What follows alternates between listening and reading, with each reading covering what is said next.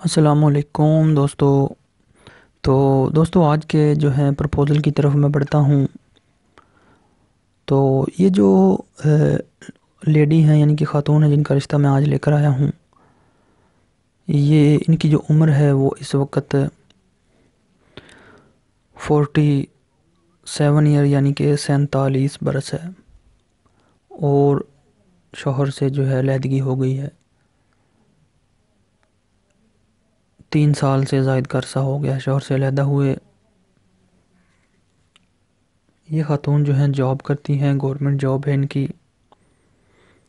तो मंथली जो है तकरीबन एक लाख कमाती हैं।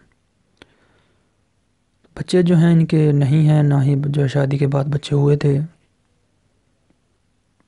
देखने में खूबसूरत हैं।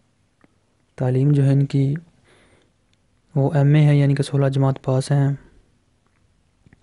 अच्छी फैमिली से हैं, मुसलमान हैं, फ़िरका सुन्नी है। तो इनकी जो कास्ट है, ये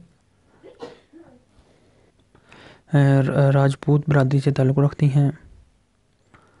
तो वो हमारे दोस्त भाई मर्द हजरात, जिनकी उम्र साठ साल से कम हो और बिल्कुल सीरियस हों शादी के मामले में।